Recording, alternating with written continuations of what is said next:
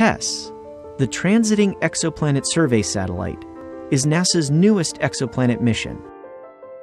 Led by MIT, TESS will find thousands of new planets orbiting nearby stars. To accomplish this, TESS will fly in a special highly elliptical orbit that maximizes the amount of sky the spacecraft can image. Once TESS has launched, it will expand its orbit until it can get a gravitational assist from the Moon. This slingshot will move it into a stable orbit that is tipped at about 40 degrees from the Moon's orbital plane. TESS orbits Earth in exactly half the time it takes the Moon to orbit once. This feature helps stabilize the spacecraft's orbit against tugs from the Moon's gravity.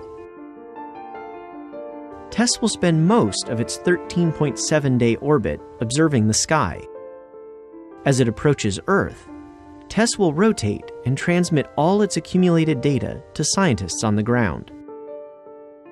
Over two years, this will allow TESS to study nearly the entire sky and potentially find thousands of new exoplanets.